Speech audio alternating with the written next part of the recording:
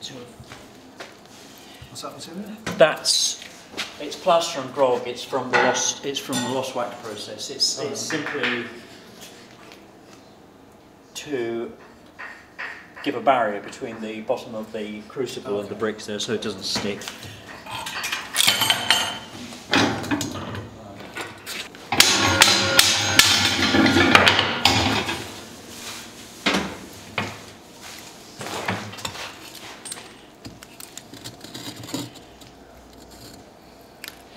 The aluminium we use, as I said, is uh, from the scrapyard.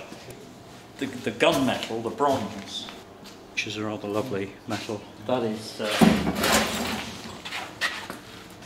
again from the scrapyard. And um, it's bits of old castings. This originally, you can even feel the texture of the sand in there, um, would have originally been produced in a sand mould. Um, because one of the processes that, of course, we haven't dealt with is how you core a mould in order to give yourself hollow- hollow- that kind of an object which has a hollow to it through which, you know, in this case, water passes. But We'll cover that in the next one.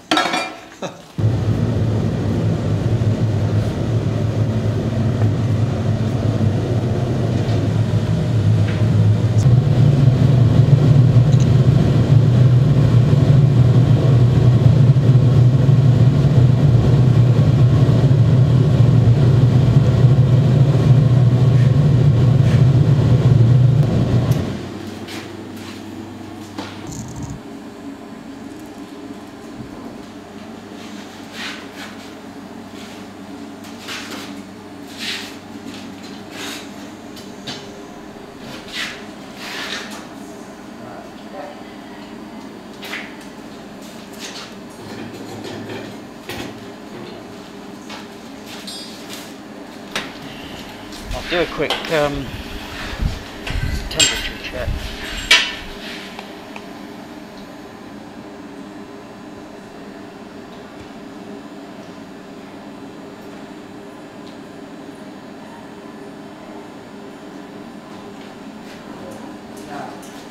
Okay, we're just going to scrape the dross off.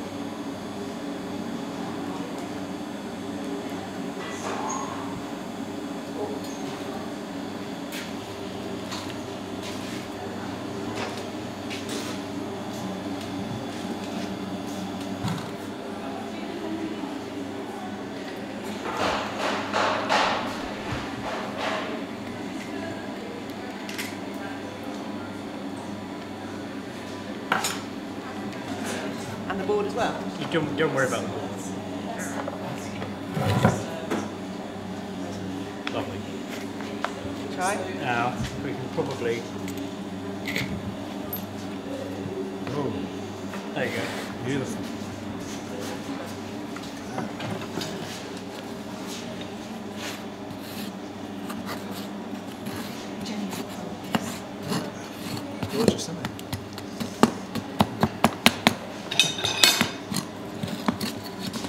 So,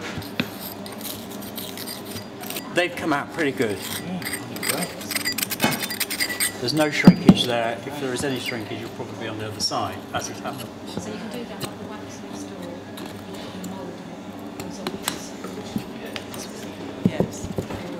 shapes of the legs.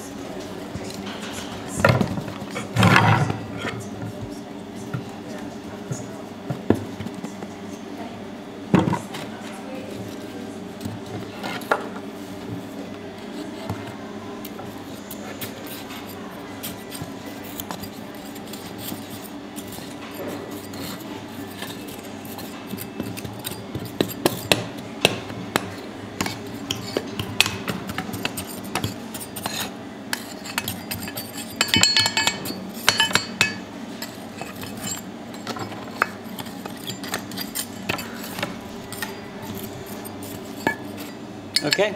Okay. So I can put it in some water. Yeah.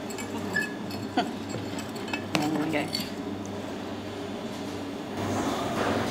The majority of the majority of, uh, uh, of castings that occur will require extra work.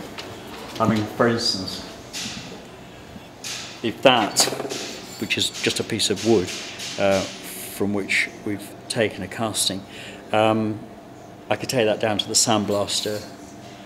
I could get rid of some of the texture that has been created through the sand casting process, and I could polish that and, and bring it really bring it up to a very high degree of polish. Thank you very much.